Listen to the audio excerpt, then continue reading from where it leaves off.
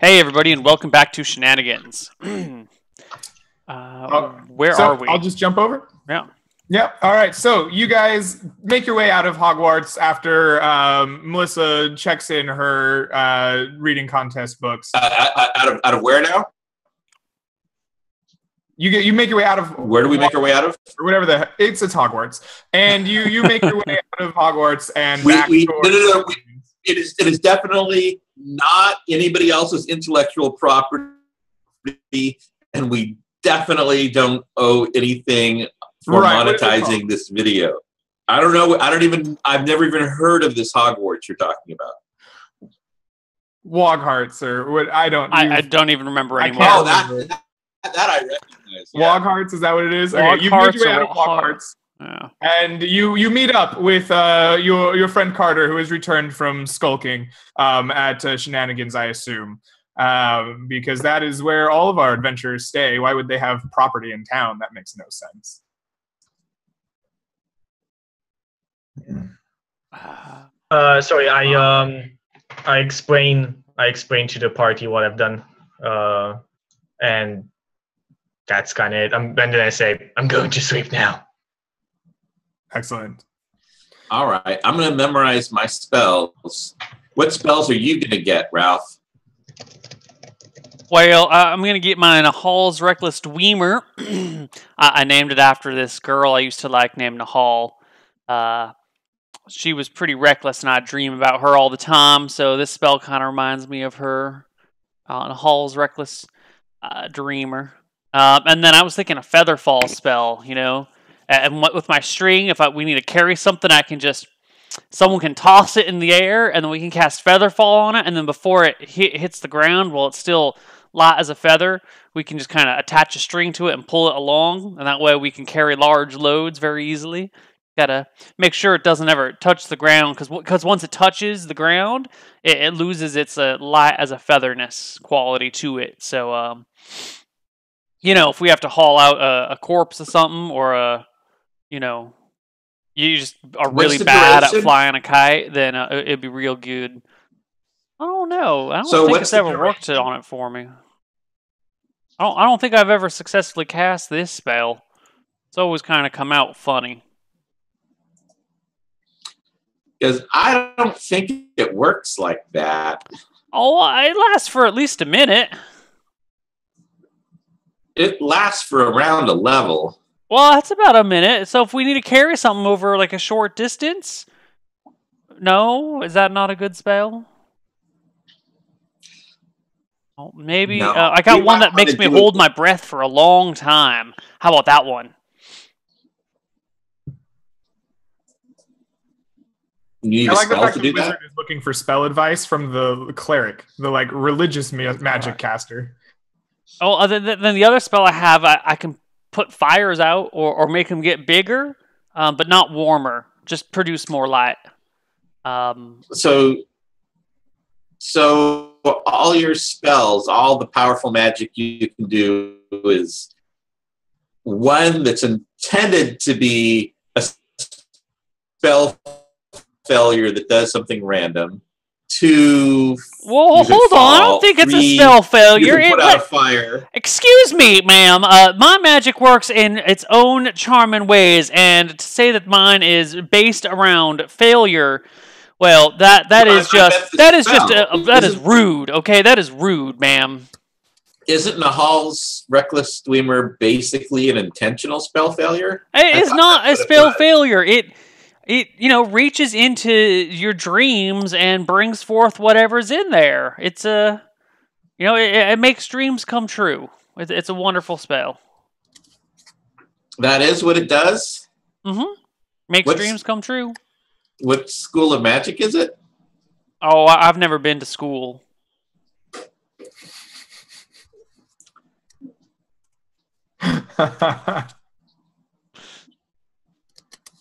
Hmm. So you've got that one, and then one that makes Look, you. look, why, why don't you just let me take care of what's mine, and I'll let you take care of what's yours. And you've become awfully pushy lately. I, I you're you're a little funny one. You used to be I'm so much sorry. nicer. What's wrong with you? I haven't had milk in so long. Just go get some from the bar. No, it's got meth in it. I don't know what meth is, but that milk is delicious. And if it's good, it must be good for you. That's what my mama always said.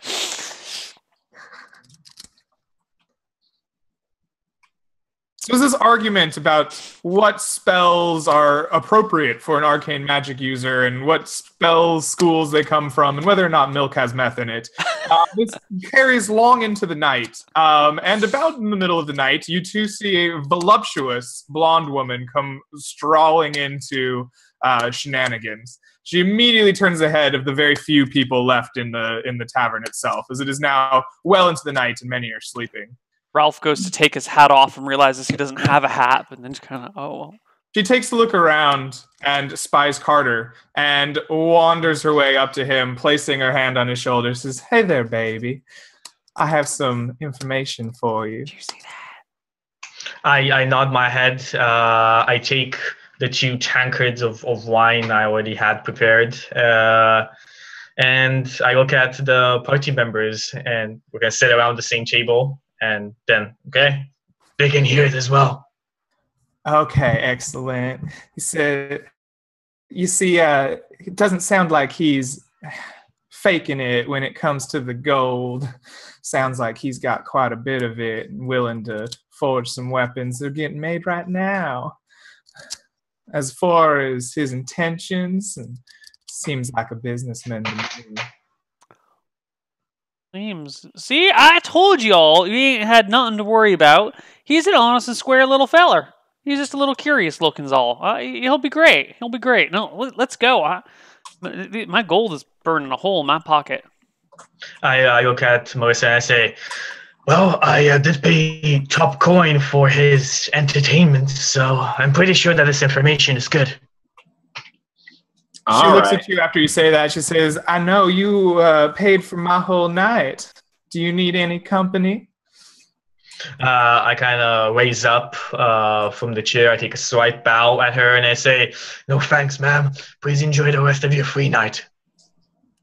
Well, she kind of looks you up and down, says, "I guess that's my loss." And she kind of saunters her way back out of the out of the bar. I, I sit down again. Well, that's my contribution to this. All right. Well, I guess we should get going. Well, in the morning, right? Let's go get a nap. All right. Okay. So I guess we'll see you for the night. yes. I go to bed. Same. We'll set off with virtue and good intentions in the morning. Excellent. Night passes. You get up in the morning, and sure enough, there's Fritz at the at the front of shenanigans as you make your way downstairs. He's got his a very similar shirt on with his lacy cuff, and he smiles as he sees you all come down. And says, hey, "You're ready? You've taken care of your business. You come." Uh huh. Yeah, Most know, definitely. Yes. Yeah, yeah, yes, sir. Little y- Fritzy. Was that your name, Fritzy? Fritz, yes, Fritzy works, and my mother called me that. Oh, you know, I never thought of goblins as having a mother, but I presume you must. Yes. Come, follow me. I will take you to the mountain. And uh, he begins waddling his way out of out of the tavern, um, and he mounts himself onto a large mastiff um, that uh, looks way more like a big fat dog than it does a big powerful war horse. You think this one may have been spoiled quite a bit. Um, and he he gets on a big saddle and, and he says, "This will help me keep up with you long-legged folks." and he begins riding off, just expecting you to follow him.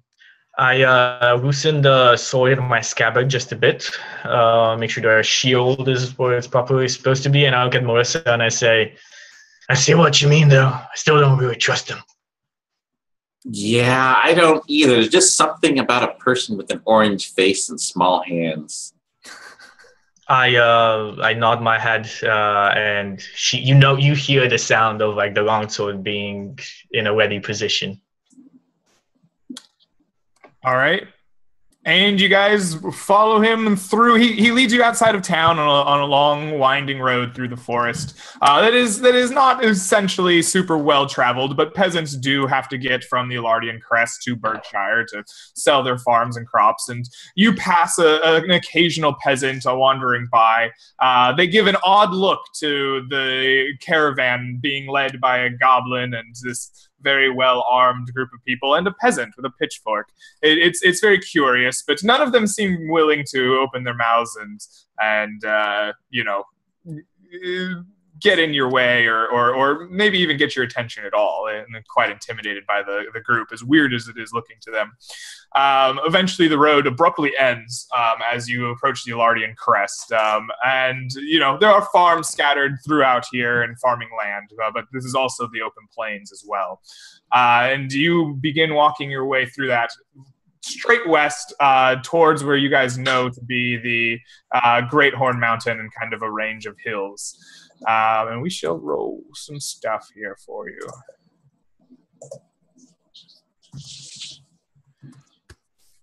Hmm, very good. Uh, so about four hours of, of walking, you, you've begun to get yourself uh, mostly through the Alardian crest, and you are beginning to, to reach the end of the plains. You see the hills in, in, in sight, and you see the Great Horn Mountain rising up into the, into the sky.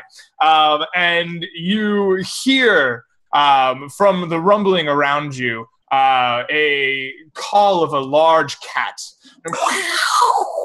Um, and as you look to your right, um, you see two mountain lions slowly making their way down the plains towards you. Uh, they see their tails laid back, ears flat, clearly in a hunting position. Uh oh. Uh, hey, hey, hey, Carter. Um, you want to go scare those critters off? they look pretty dangerous. How many? How many are there? They're Two. just kitties. those aren't fun kitties, Missy. Uh, the, them, them are real nasty, mean, flesh-eating, monstrous kitties. Uh, how many are there? There are two.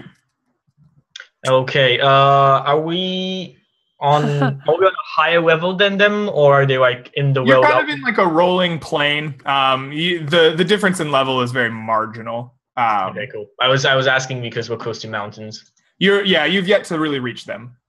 Can I use survival woods or anything to try to get an idea about how strong and powerful they are, etc. Basically, I'm kind of curious about how many hit dice they have.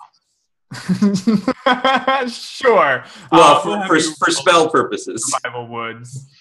All right. So does that go off of wisdom, I believe? Yes. Yeah. That was a good stat.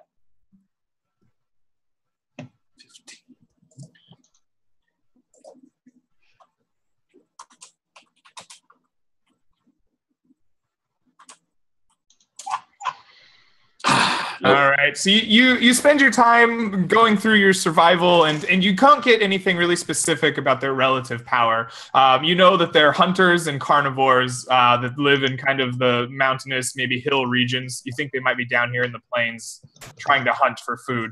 Perhaps these are the hunters of their pack, and they're going to bring it back for the weaker and the and the more sickly. But uh, other than being formidable predators, you don't get much about that relative strength.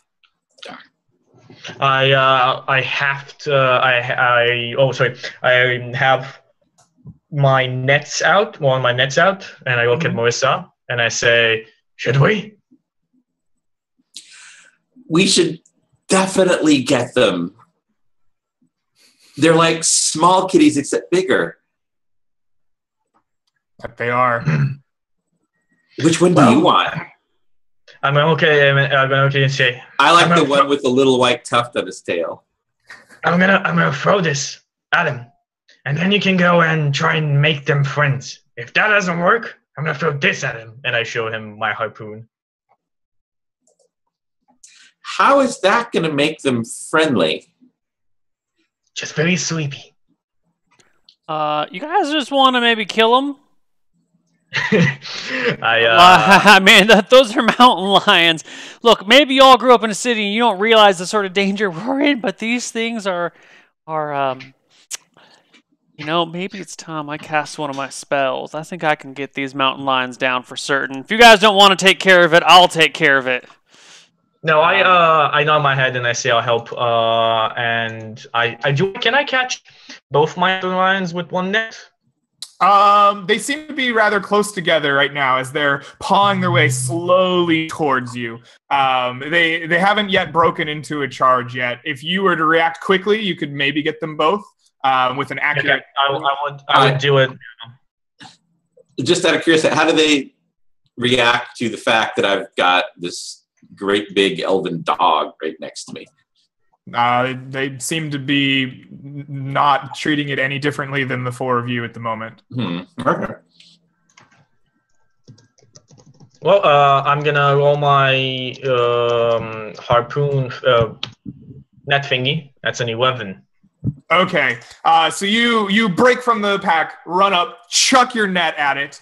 Um, with an eleven, you miss the mountain lions as you break up. Their ears perk up, and you chuck. the bolts to either side. The the net doesn't catch either of them, and then they Mhm. begin bounding towards you. I believe initiative will be in order.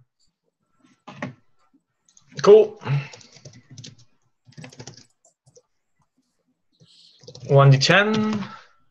Uh, sorry, that's uh, seventeen on uh, no, fifteen on my end.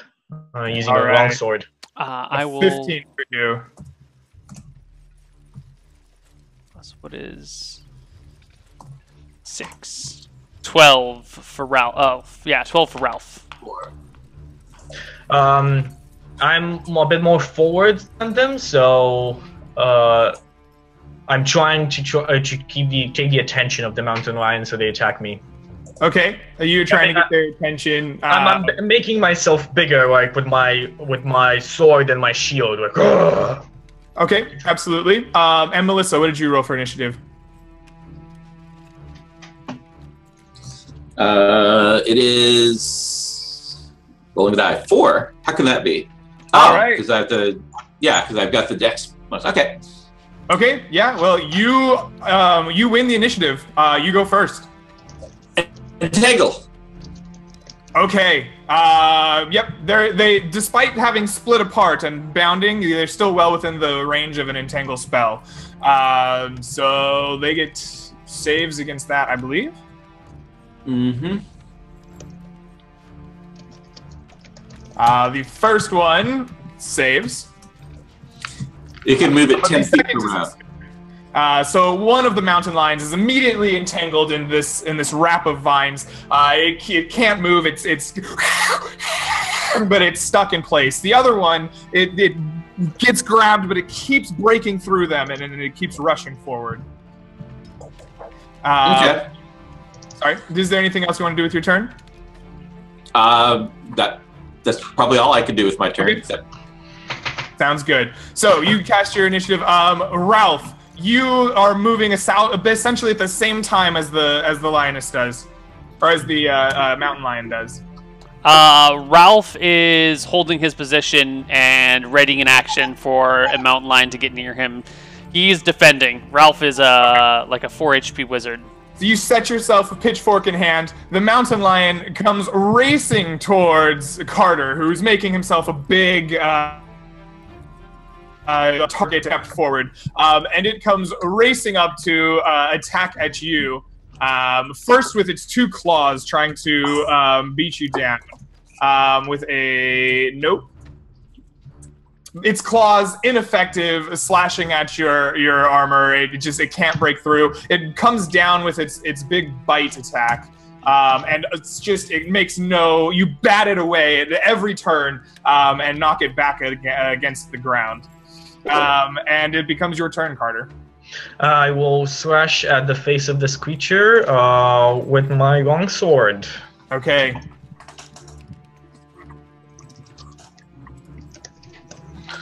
Uh, give me a second. Uh, that is four. There we go. That's a 13 to hit. 13. You you slash down at this creature, and just before your you know your longsword is gonna make contact, it dances to the side, and you end up striking empty air just at the last moment. Um, Oh, um, Fast question. Uh, fast question. Uh, I have two slots of proficiency in longsword, or do I, does that mean I get a 2nd You're attack? specialized, so you get two attacks every three rounds, and you get plus Okay. one to hit, plus two to damage. Yeah, that I know.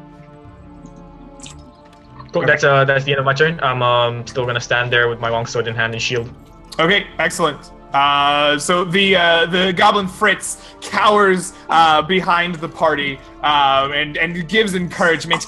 Kill it! Violence! Lots of violence! Kill these creatures! Um, and then it's time to roll initiative again. Um, I'm actually just going to continue to hold my action. Ralph is uh, terrified of these mountain Okay. lions. Okay, sounds good. Uh, Carter and Melissa. Gonna see the. Uh, I have a seven. I've already rolled it. A seven for Carter. Okay, I didn't see Yep. So what if the spell I what do I add to my initiative? The spell I want to cast takes an hour. it. you are gonna be sitting here casting a very long time. are you are you really trying to cast an hour long spell? What spell are you Um, trying to cast? I think you're just essentially out of the initiative. I want a order. kitty. Like, like you're you're just you're just casting this hour long spell at this point. What are you what are you casting Animal friendship. for an hour? The casting time is one hour. Which uh, one do you target?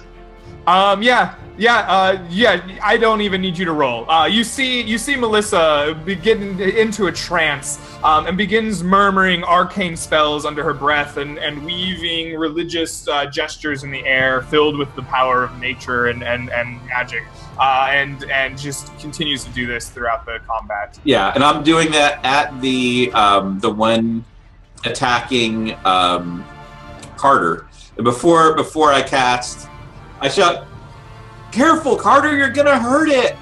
and, I, and I yell, um, I yell at Virtue, guard Ralph in case anything happens, and then I'll start casting the spell. And it should, if it if it doesn't pass its saving throw, it should immediately calm it down. In an hour. Uh, no, right No, it away. immediately calms it down. Yeah, so by means of the spell, caster is able blah blah blah blah blah. If the animal does not roll a successful saving throw for a spell immediately when the spell is begun, it stands quietly while the caster finishes the spell. All right. Um, saving throw versus spell for it.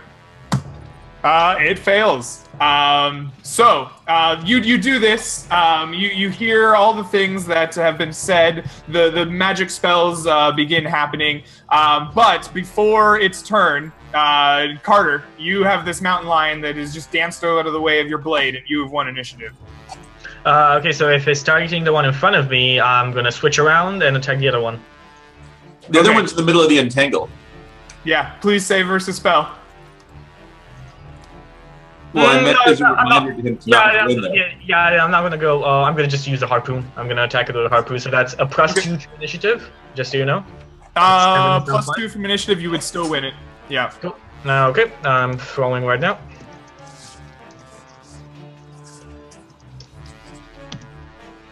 Thirteen. Do I get any advantage? Um, you do. It like, is essentially held, um, and it is not prone on the ground. So I'll give you a plus two to that. And you do. Your harpoon flies true, um, striking the uh, held mountain lion in the in the torso. Uh, please roll damage. right now. Ooh. Eleven damage. Very nice. Um, your, your harpoon sinks deeply into it. Uh, blood begins pouring freely. It, it doesn't die, but it struggles weaken. Um, and and instead of the, the vicious it had been producing, it, it comes into this like pained howl, kind of low and guttural in its mouth, um, as as uh, you've clearly very much hurt this creature. Um, then the, the the single mountain lion standing in front of you, kind of sits down um, as a cat does and perks its head looking at you, uh, Melissa, as you do your incantations, um, and just kind of and and See, you're a good kitty. When I see the mountain lion has come to a stop in front of Melissa and she's still casting a spell, Ralph will spring to action and Wait, it's try not. to. It's not in front of Melissa. It's in front of me, and I step next to it. Seeing the mountain Right, lion coming to a stop, of Chucky, but it's staring at Melissa. Yeah. casting the spell. Seeing the the mountain lion come to a stop, and Melissa, you know, off in her own world, Ralph will spring to action and save Melissa. Rob is not happy about this. if he does, if he fails the attack, I'm gonna warn him like, don't attack her. But like, I don't know that Uh, he's doing this. Maybe if- Uh, plus one for flanking. I don't know if you, Plus there's one anything for else. flanking, absolutely. Um, this thing's really not even defending itself, so I'm gonna give you a plus two just for like it not trying to dodge or escape. Twelve. A 12 does not strike the mountain lion. Somehow, some way, Oh God! Whoa! of your, of your peasantry, you Oh. are able to stably push the pitchfork, and it goes wide, and the mountain lion just can't notice over the incantations that Melissa is. is I put my uh, I put my shield kind of my shield arm as as I'm sitting like this, like the harpoon in the sand. I put in my shield arm in front of the mountain lion, and I look at him and it's like, "Don't attack it. She's doing magic to it." It's gonna eat her.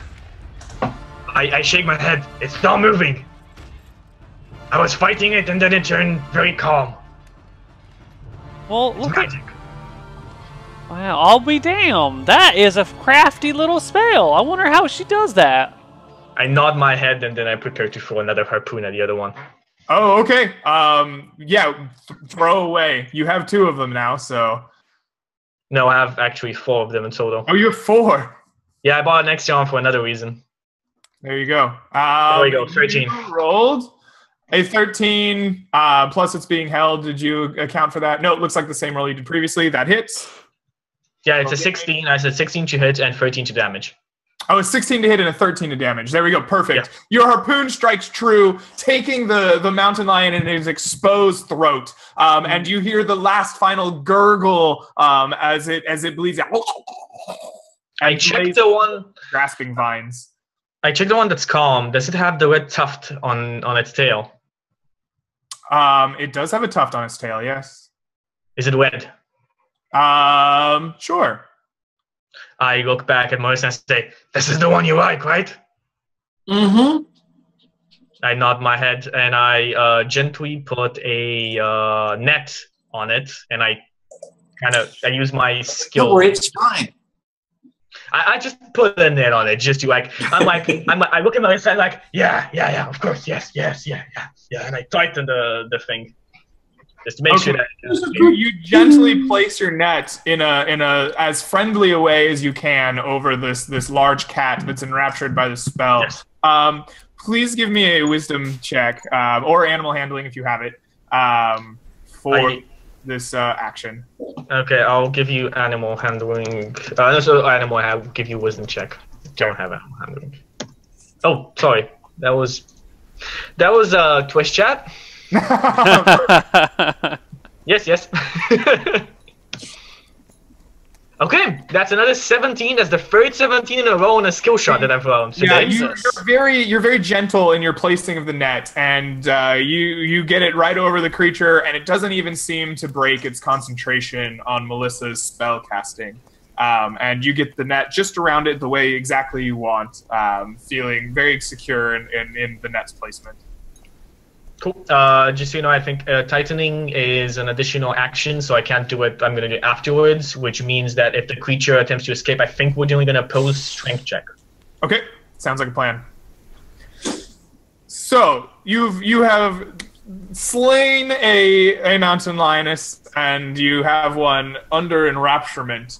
As as as Melissa's uh, great incantation continues and continues, what are the three of you doing? Scouting around, make sure there's no others. I am studying Melissa, trying to understand the words that she is saying. I know she uses a different form of magic. Ralph, Ralph understands there's a difference between arcane and divine magic, Uh huh.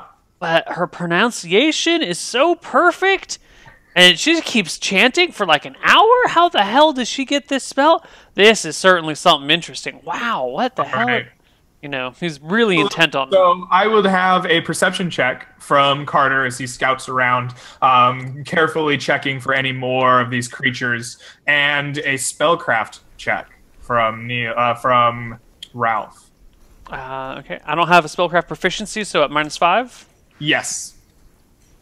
Uh, I think the more you ask me for for ability checks, the more I'm gonna go just higher. There you go. Um, you, I am you eagle rise to the top of a hill and attain a sense of enlightenment as you view the plains. Um, and you you can spot all of the forests and woodlands creatures, but uh, you you spy no more of these. Is everything is everything that the light touches mine? yeah, everything the light touches is yours, except that shadowy area over there. There you must never go. That I, I head over towards the shadow.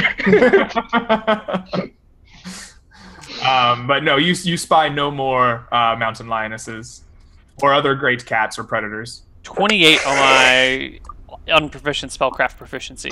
Okay, yeah. Uh, so you you spend some time understanding these words, and even though they are of a different type of magic, you still come eventually to kind of understand the general uh, spell, and you, you realize that his his arcane energies are are seeping into this animal and calming it, and eventually perhaps twisting it towards friendship.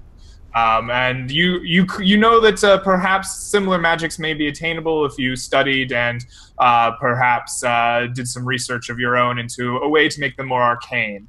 Um, but this is the essential spell being crafted and weaved. Interesting. Hmm. Hmm. All right. So, as a as a result, uh, eventually the entanglement passes. Um, the the Fritz, the goblin next to you, gets a little antsy at some point during this hour of waiting. He says, "Come on, we're we're so close. Why why can't we just slay this beast while it is enraptured and be done with it? We've panda snatches." Yeah. Hold, hold on there, little critter. We're doing you a solid here, and uh, there is something interesting going on. Do you know what she's doing to that mountain lion? She's magically manipulating its brainwave patterns in order to make it be more amenable to the likes of us. God, I hope I use that word right. Amenable is the right word, right, Mr. Goblin? A- anywho, uh, sh- she's doing something very fancy here, and uh, you know that this mountain lion critter might be of use to us in, in fighting a, a bandersnatch, right? Because you know you said it was about the size of a lion, and here we have our own lion, and so that should cancel it out, and uh, that, that should be real easy. Like, says, says why why do you have need of this creature? You have your your own Goblin. little butt as he points towards your your elven dog, and then realizes it's bigger than him, and kind of, eh, and then he says, and you have the golden weapons. I say, kill it. We're, we're wasting Goblin. time. This is magic. She does magic. You respect magic until magic is finished. I learned as a kid in tribe. If you disrespect magic, the shaman eats you. So you do not disrespect magic. I don't want to be eaten. I I don't know all about that, but uh, she ain't hurt nobody, and we can afford what. I don't know how long this is going to take, but we can afford a little extra time on the road, right? I, it's a waste of time. I don't like it. I don't like it at all. Fine. Oh, I'm awful he- sorry. He just he pouts next to his his large mastiff for a while. Well, h- how about I give you my share of the the reward then? That make that make it fair? He says, "If you come back with treasure, eh, sure, why not?" Ah, see, now we're all peachy. Peachy, yes. He frowns. I look at the goblin and I kind of whisper under my breath, and insulting shaman also means eat. What do you whisper? Um, insulting the shaman also means he eats you. Oh. he kind of looks at you and goes, "Yes, fine." Then he just sits and waits. Uh, eventually, an hour passes. Your spell comes to conclusion. Um, does it does it need to save again, or is it just now your friend? It's now my friend, and it's permanent. Yes. I take off, You have, I you take have off the net. permanently um, found yourself a, a mountain lioness friend. At the end of the spell, it gets up and it cl- pods its way over to you, Melissa, and it jumps up on its hind legs, puts its forward paws on you, and gives a big lick right on. I sheathe, All right, I I sheathe give it my sip. sword. Like, hey everybody, this is Vespers. Vespers? Mm-hmm. That is uh, definitely an elven sort of name for a critter. I take out like a salted beef or something like from my and I say, Vesper, here, and I pat my leg, and I but my other hand is like steak. It, it pads over and, and it. ah, What what what uh, what does Vespers mean in the common tongue? They're prayers in the common tongue. It's, His- it's his not- name is Prayer? Oh wow. Yeah, Hey prayers, how's it going? I wouldn't want to forget my prayers. huh? Just, just let's go, let's go. The road awaits. Maybe I should learn a few words of Elven. Might be useful. All right. Well, And with that, with that, uh, Fritz hops back up onto his uh, mastiff and he says, "Let's go. We're done wasting with this time." And he he tr- begins trotting along on his on his mastiff westward once more. okay. I follow along happily. Uh, I, Fri- uh, Fritzy, how much farther until we get there? I- I'm getting real tired of walking. Another hour or so is fine. Along the way, I want to try and teach Vesper how to fetch. Okay. Um, as you're as you're like walking through the uh, the plains here and then the hills and you're you're following along, you keep throwing food and like no, no, no. Like it's, it's I'm, I'm having like a bone, and this is this bone always bring the bring the bone back.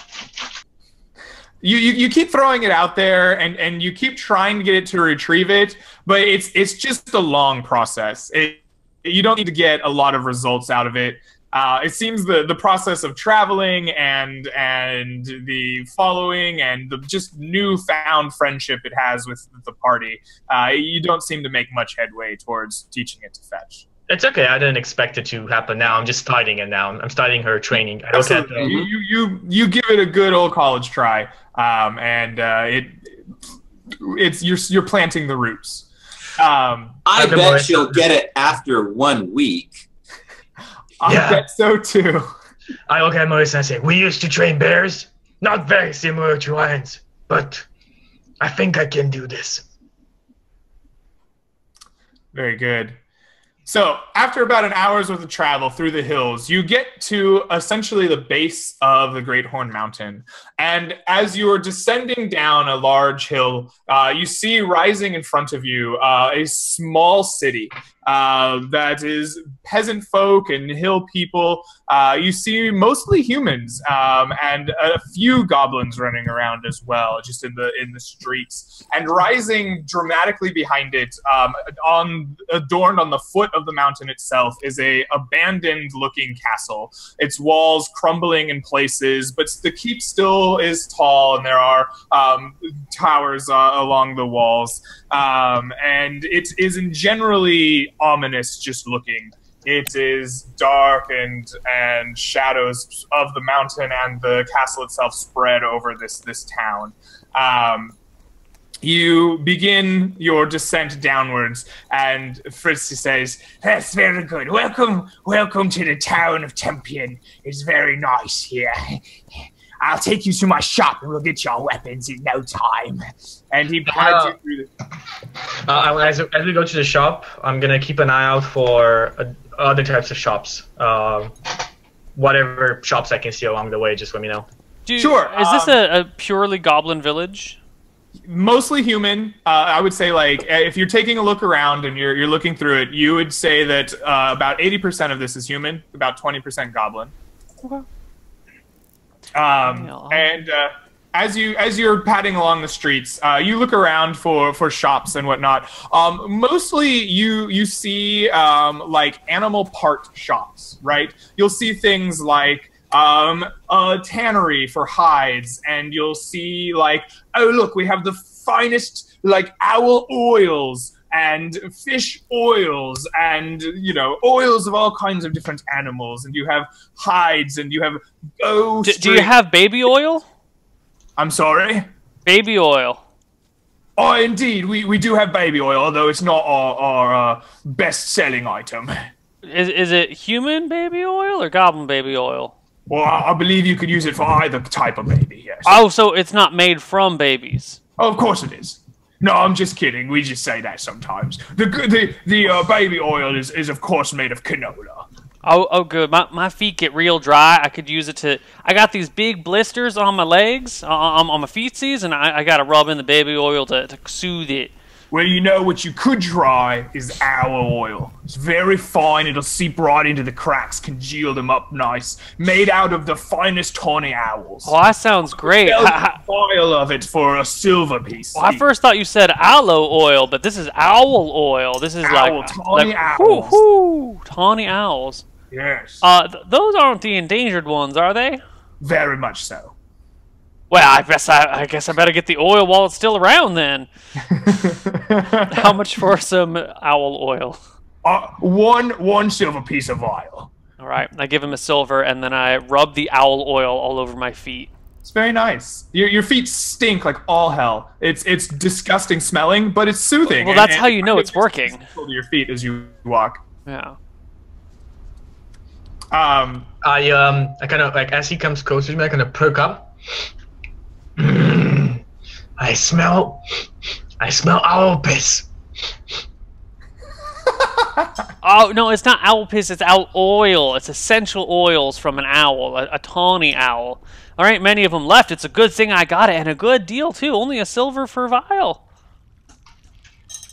I kind of whisper under my breath to Melissa, owl piss.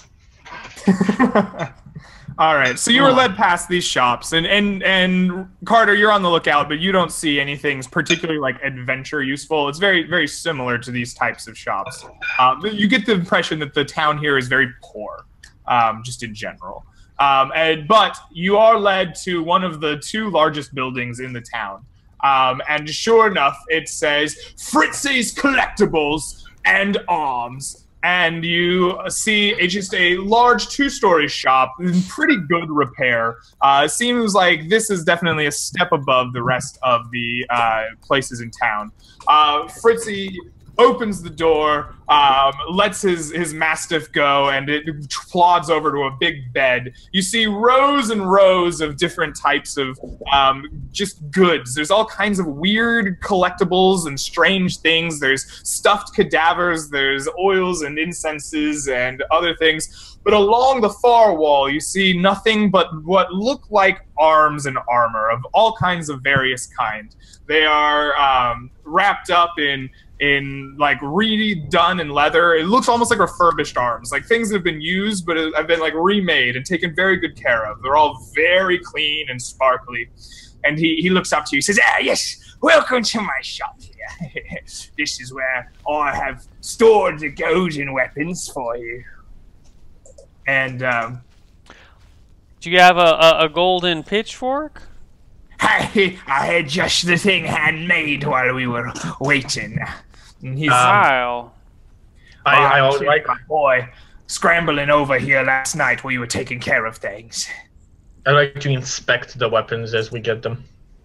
Uh, okay, sure. Uh, he he goes behind a, a big desk and he pulls out large briefcases and he begins opening them up. Um, and sure enough, in, in them, as he, he opens up kind of like big luggage cases, um, there are duplicates of all of your weapons. Uh, there's a big shiny pitchfork, beautifully made of gold, just like bright and, and, and shiny. And he, he hands it to you. And uh, he- there's a there's many harpoons and a long sword, uh, and, and he hands them all to you. He says, "Look, I don't exchange. Um, I don't exchange all of my weapons. Um, um, my two harpoons, two of my harpoons are stashed away in a cloth. Uh, I exchanged two harpoons for that, um, and that's it.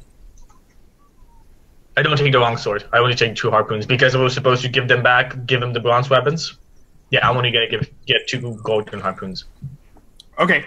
Um, wh- when he hands them out, he says, "You'll be wanting that long sword too, I'm sure. You'll want all the weapons you can for the Bandersnatch." I shake my head. Are I'm sure? good. I've, I have a beautiful golden longsword for you. I'm, I'm sure you'll want it. I'm good. Um, but first, before we, I do say any of this, I do want to inspect them Sure. Um, because I feel like I, I want to see like are these actual gold or are these like just uh blown over gold?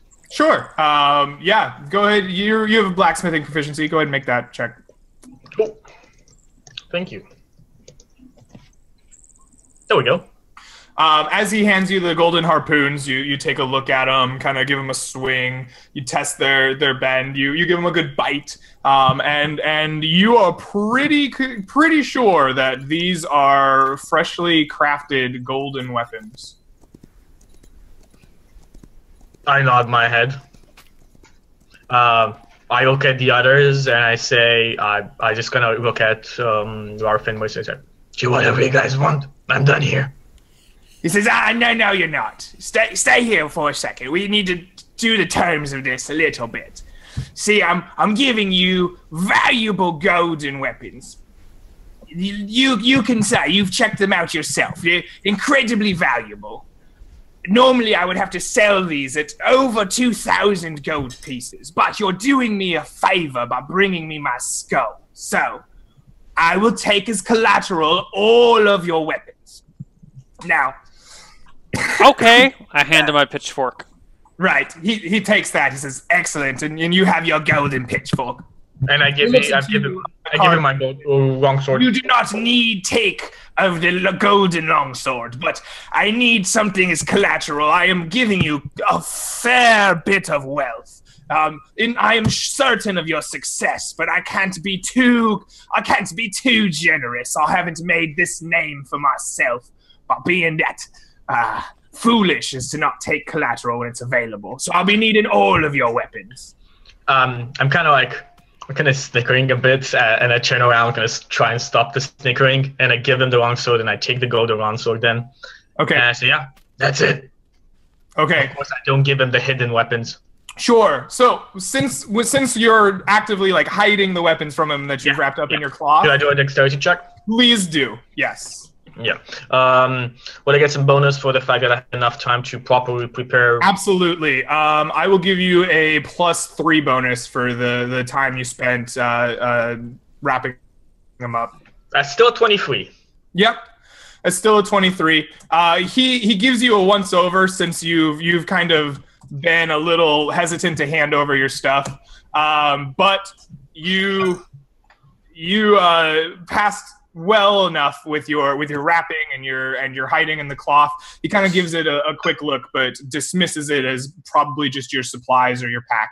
Um, and doesn't look. at He, he looks at you, Melissa, and, and has you give over whatever weapons are on your person. No, I, I'm not giving up consequences. I don't need a gold weapon. I fight with consequences.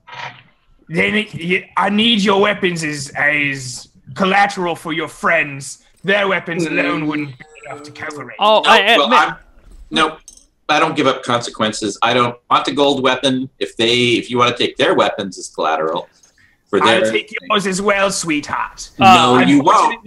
Their weapons won't cover the full cost. Oh, mi- mi- The Mr. lady. Fritzy, he- hey, she is one of the most honest people I've ever met in my life. She I- might be a little bit daft sometimes, but she is nothing but a pure-hearted individual. You can take her at her word. Uh, she might not I come back. I sure that she is an honest and forthright person. I've never met Um, a wait. woman wasn't.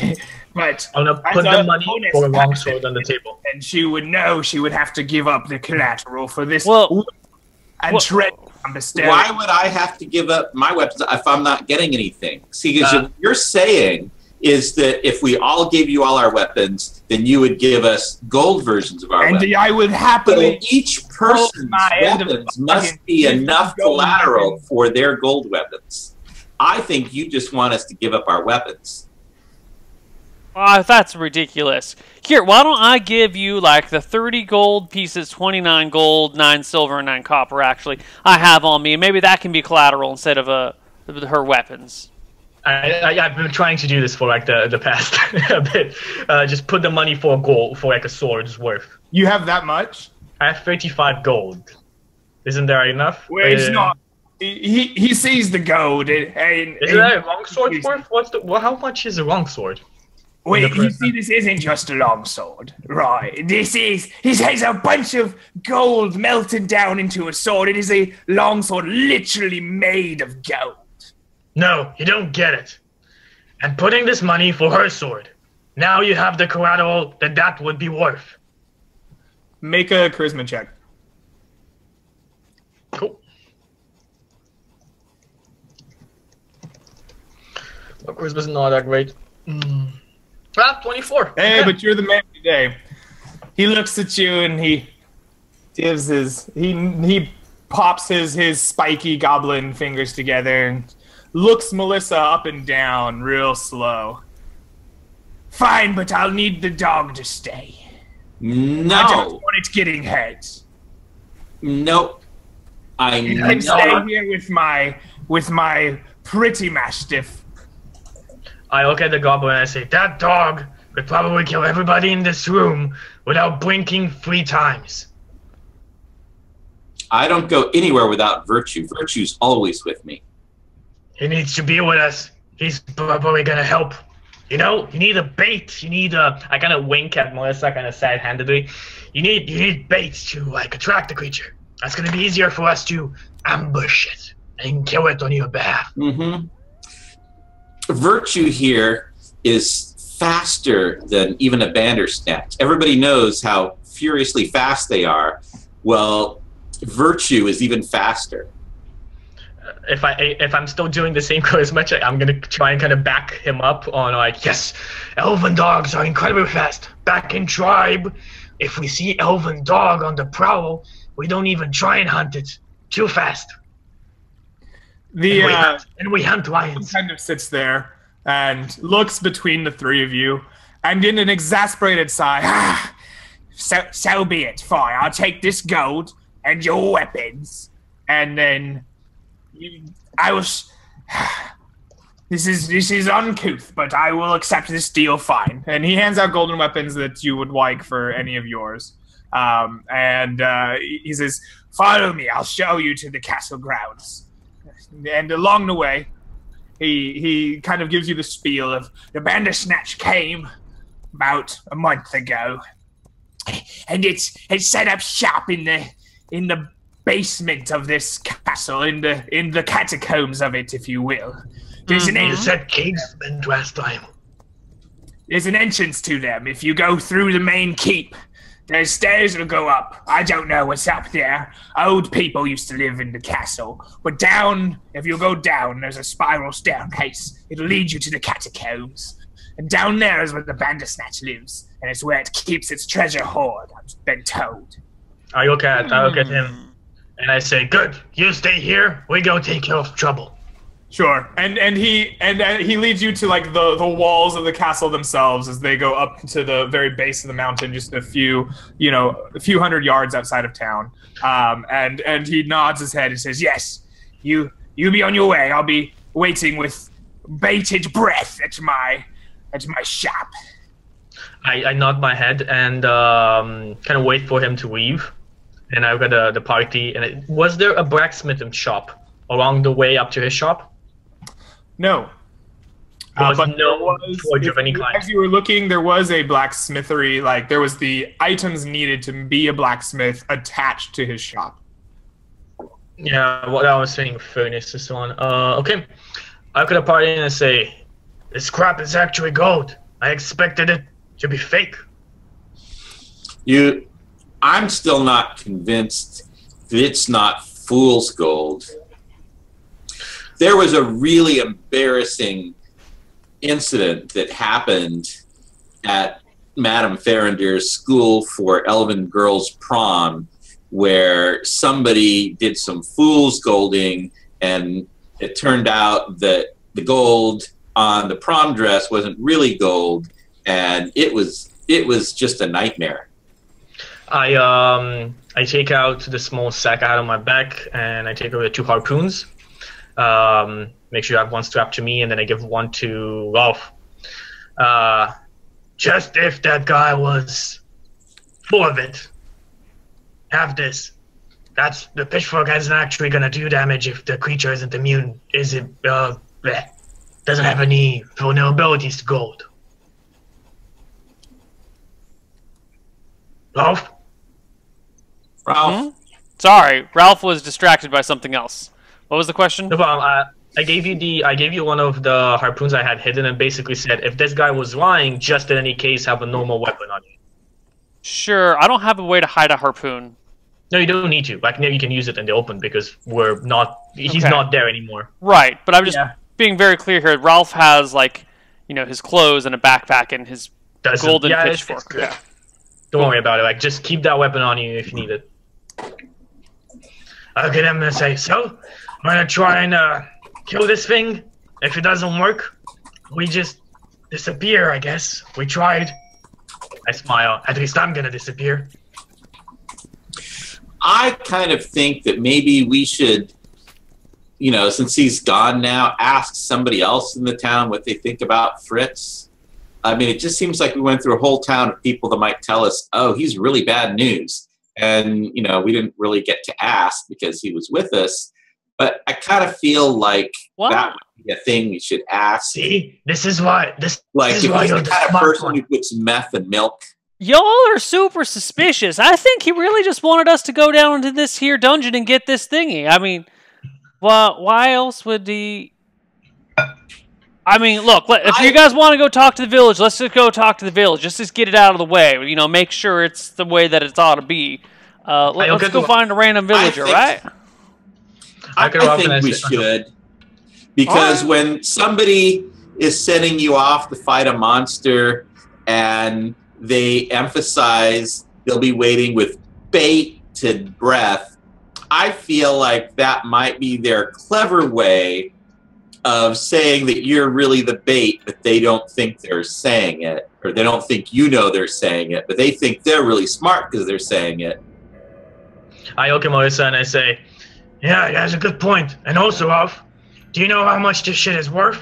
I point out to the two harpoons, the roto harpoons, and the sword. This is about, it's a seven thousand gold, more gold that you've seen in your whole life. Yeah, so our weapons as collateral would be really lame.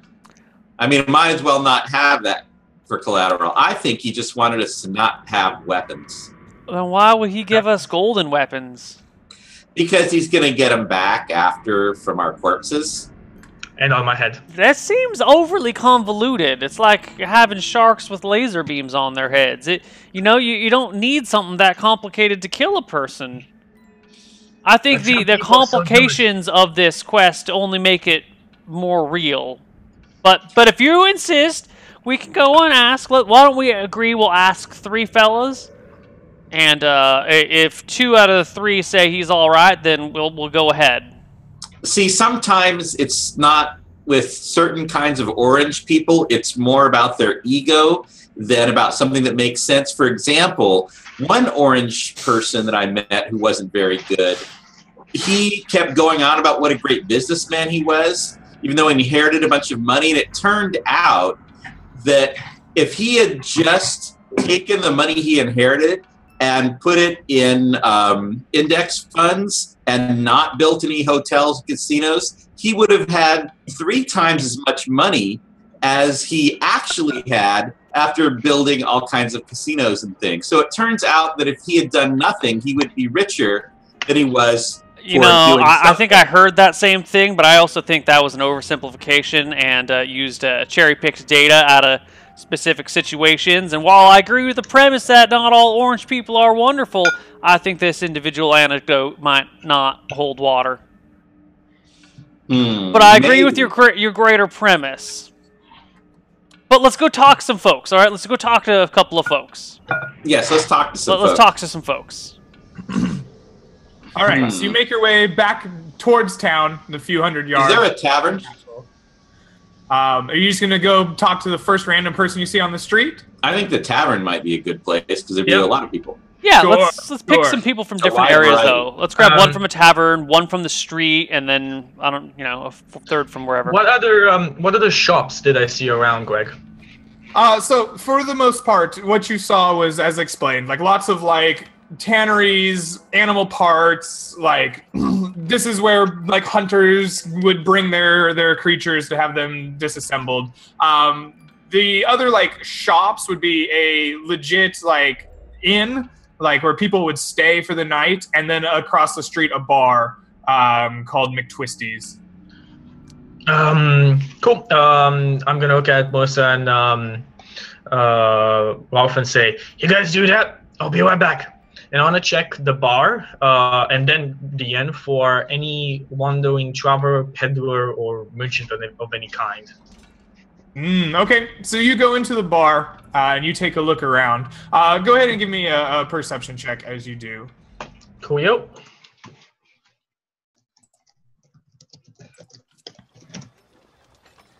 Okay. 22.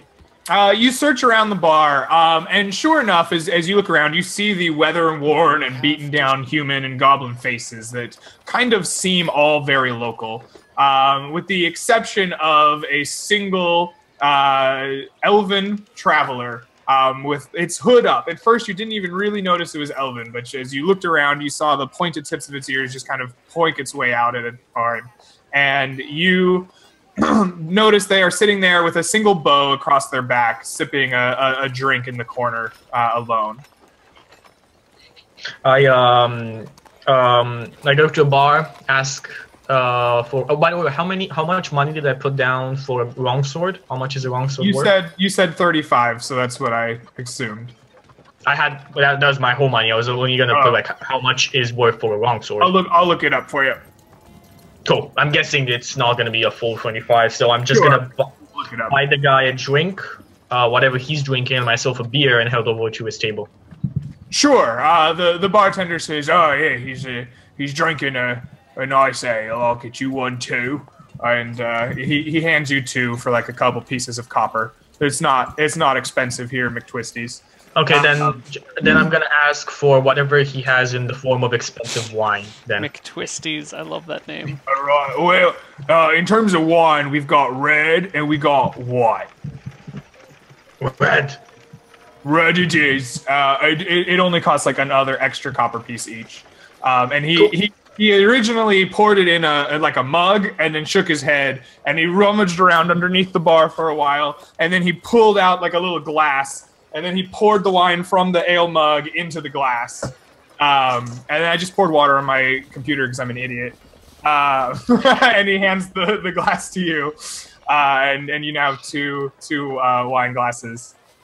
I uh, will um, go towards the man, and as I approach him, I'm going to kind of very formal pose again, small Uh-huh. bow, and say, "Greetings, traveler."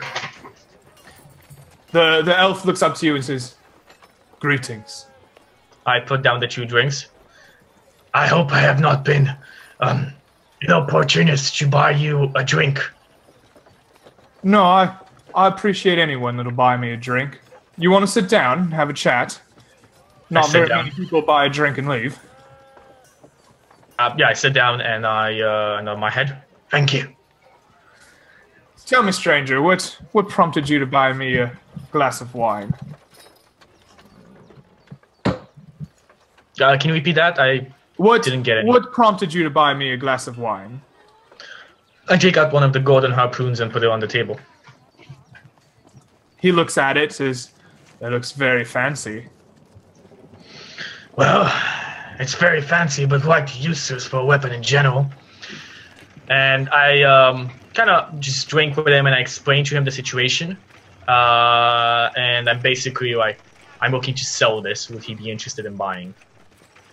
he he shakes his head. He says, "I'm a traveler. I don't I don't carry that kind of coin around. Uh, unfortunately, it, it's a beautiful piece. I wouldn't mind owning it. You you might want to look for a, a, a noble or someone that has, you know, a couple thousand coin they can just spend on a beautiful piece like that. I'm more of a, a bow wielder myself, anyway." Well, you know what? I think I have just just the idea for the two of us. What do you say to a little business deal?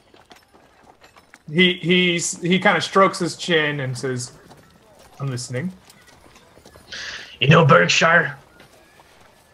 Of course, yes. Good. Hire a peddler boy and a horse. I'll provide a coin for that. You send a package back to in shenanigans to the bartender. You want That's me to to take the the harpoon to shenanigans? I nod my head. Whatever, whatever Desmond says it's worth. you can get 10%. I'm not much of a trader, but seems like a pretty. Explain uh, to him in blacksmithing like criteria how much this would be worth. Uh huh. He kind of he nods his head as you as you tell him and says, "Well, I sounds like good money to me. I'd be happy to do it. Ten percent, you say? How uh, will you be waiting here when when I I? will be I will be coming back. So I'll meet you in Shenanigans. Are you I sure? not want it. He he kind of he kind of gives you an odd look and he says, "If you're returning to Shenanigans and you want me to sell this in Shenanigans, why do you need me?" I fear that uh, there's going to be some uh, complications in this town, so there's going to hold me some time here.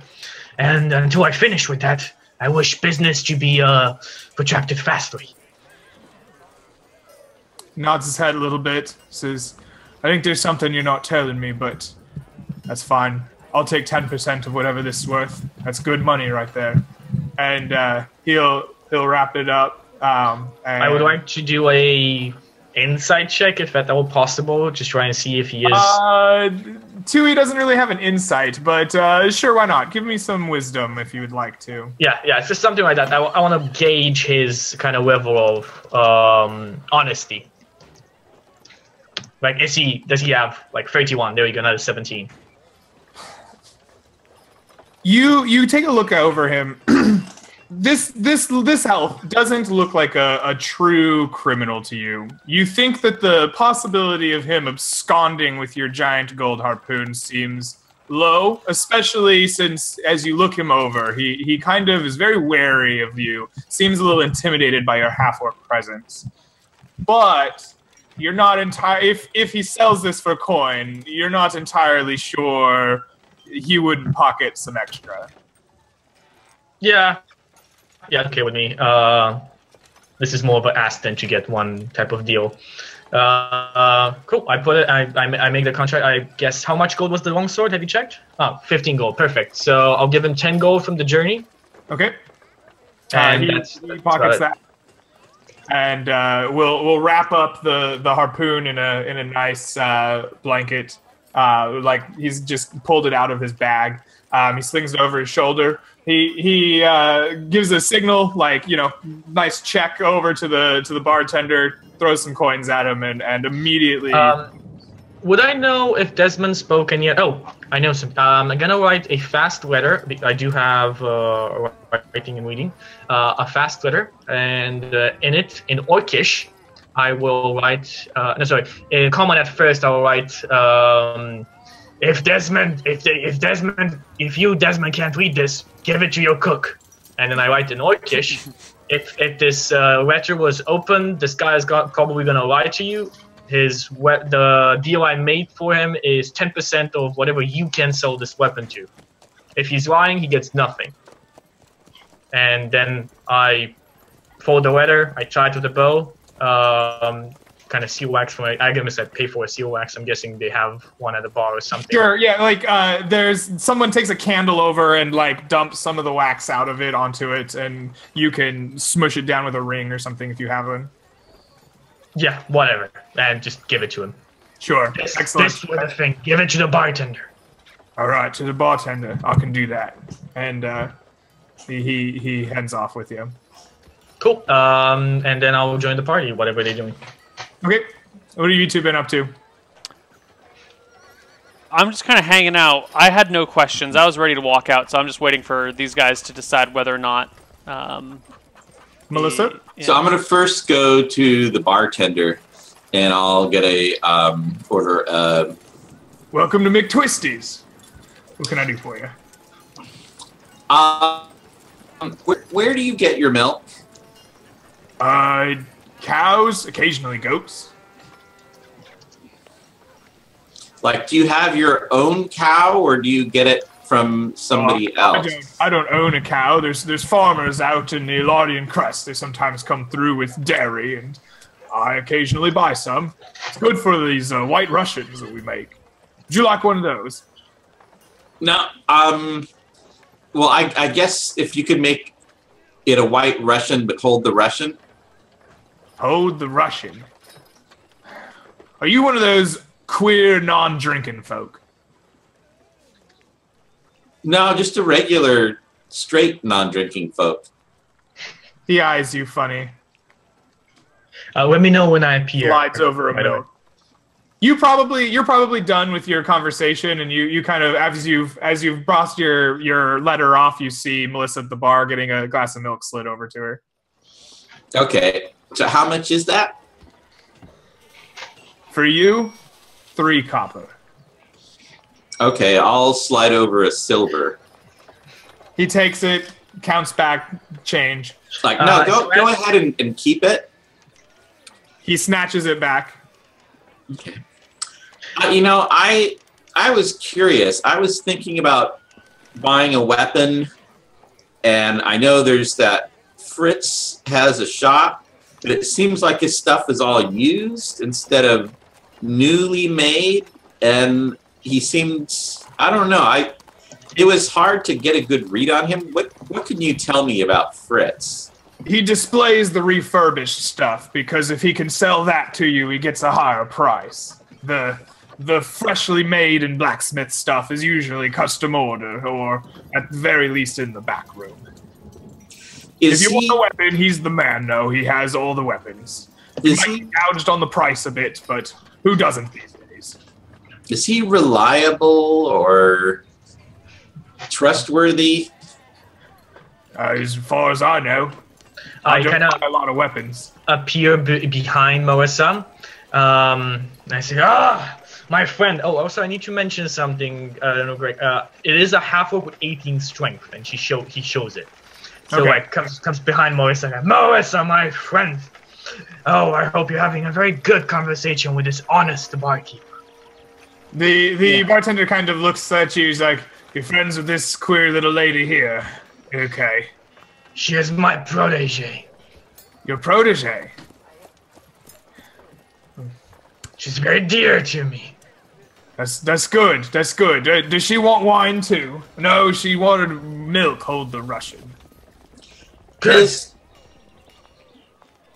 has Fritz ever mentioned wanting to destroy the world with an apocalypse skull or anything? oh my god. No, I I haven't trying- heard anyone. I haven't heard anyone trying to destroy the world around here in my lifetime.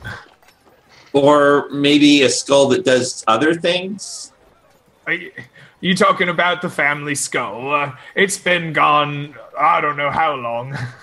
I, I a long time. Not Oh, indeed. recently. His, his his father's father's father had a skull with red crystals in its eyes, and it was made of inlaid silver and gold runes. It was very expensive looking. Oh, was it magical? I have no idea. I don't do magic. I do beer. If you drink enough, anything's magical. When did it get lost, this skull? Uh, I, there's only stories about it in town. Uh, it, it hasn't been seen in ages. In ages, you say, not just recently. What What are some of the stories about it? That it's expensive and that Fritz's family owns it. But did he ever own it, or like his father lost it, or I no one's seen it in a long time. Now, if it got lost, which is very likely, because if you if you owned such an item, you would display it. Of course, it's a quite a thing. It's what you wealthy people do. That and drink milk. But uh, it, it hasn't been seen since his father's father's father had it. oh, so it wasn't stolen in the recent Bandersnatch invasion? Hmm. No, maybe. It, I I don't know. I don't know when it got lost. I haven't seen it. But is- there is a Bandersnatch in the castle. Uh, something lives in the basement, yes. It's been raiding the town every now and then, stealing our goods. How come nobody lives in the castle? No one's lived in the castle as long as I remember. It's been an abandoned castle for centuries at least, I'm sure. How come it's abandoned? I mean, a castle is a pretty nice place. It's all crumbling and falling down. It's more work than, than we can afford to do to make it livable and hospitable. Otherwise, the cold of the winters in the mountains will freeze your ass right off when you're living in it. All right. Ralph taps his fingers on the Thank table. you for your information. Ah. Uh, how how many people is that we've asked? Just just the one? Actually, just one more question. Do like groups of adventurers ever come through here? I mean, I think they normally come to to bars. Is, You would probably know them. I've seen a few adventurers come through here. Yeah, there was just an elf. Well, he's gone now. Had a bow on his back. Uh, sometimes they stop over at Fritzy's, uh, get weapons or whatnot. Uh, sometimes I've I've had a few of them try to go after the Bandersnatch. None have really come back yet. Hmm. But do they tend to go over to Fritzy's and he like maybe he recruited them or stuff? I don't know. I'm not in Fritzy's business. Hmm. Unless he wants beer, then he's in tur- then he's encroaching on my turf, and we'll have to have a talking. Ralph leans in, kind of taps Melissa on the shoulder, and goes, uh, "Ma'am, I, I, I, I really hate to say this, but I, I think I told you so. I think I've been telling you so for a couple of days now. That this guy's on the level. He's a great dude. Let's just go kill this He lied to us about the skull, which has been gone for generations. I hate, no one said generations. No one it. said generations. He Said said it's like ages. grandfather's time. That's generations. That's the last time we saw it, but I mean, maybe they're just all fools that took it off display. well, In you know, my opinion, it would be lost because if if you didn't lose it, then why wouldn't you display it? You know, what one little inconsistency in a person's story does not make them a monster. I lied to you about where I got my go uh, my my donkeys. I didn't tell you that. You monster! I did. I didn't tell you the first time we met that Henry's my my father and that Wimbley is just some normal donkey. But uh, You, you know, double monster! Oh, it was an accident. I, I, I told you eventually about it all, but you know, it took me a little while to work up the nerve, and so occasionally people tell white lies. It's a, it's a little lie, and, and maybe he just forgot. I'm sure it's fine. I'm sure this place is just as dangerous as he says it is, and not a bit more. After all, why would he come all the way to shenanigans and then give us golden weapons and come all? Doesn't that just seem like a lot of trouble to what? Get a couple of people killed? Don't you think there could be a more convincing basic skull? story he could get to get people down there? I think we're okay. I'm Let's just go kill this you. thing. I right. smile and look, Melissa.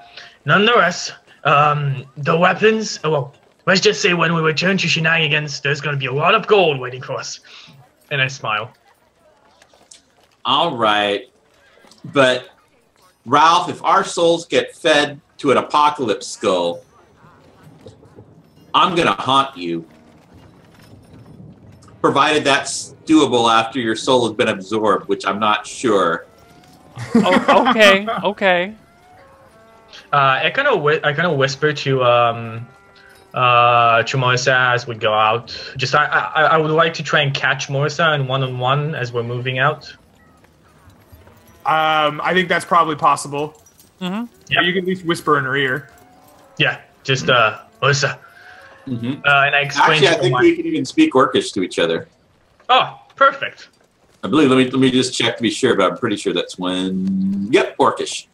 Good. So in Orcish, I say um, I pretend it's a. If I if I notice that you speak Orcish, then I pretend that I'm praying in Orcish. Uh, but you obviously know it's not a prayer, and I say I explain everything that happened. I sent this adventure in, went through an Orcish to Desmond. There's a lot of gold waiting for us. We'll just say that one of the harpoons was lost in the battle, and we can destroy the skull once we find it. It was a mistake. Well, I have a feeling that things are going to go very differently than than what Fritz was telling us, and that it might not even be an issue of having to tell Fritz that we didn't bring this the the harpoon back because I think he's trying to get us killed. Well, we have. Um, I don't mean to meaning to be uh well rude, but Vesper here is uh still needs to prove herself, and she's quite agile. So maybe tr- send her in as a scout as we go in, make sure everything's all right. Well, I think all of us will go in. It'll be, I mean, with all of us and with not having fool's gold weapons, I think we'll be okay. I know my head and I say, I trust you in this matter. I've done my business. Whatever you say goes, okay? All right, well, let's go because even if he's trying to feed us the apocalypse skull, that still means there's an apocalypse skull and lots of adventurers getting fed to it, and we need to put an end to that. I take out my like blacksmithing hammer and like, all right, all right. All right. so, with resolved to once again undertake the quest of killing a Bandersnatch, you walk to the edge of town to the castle on a hill, and we will fade to black there as we take a break. I think we're a bit overdue. Mhm. See you guys on the other side. Bye bye.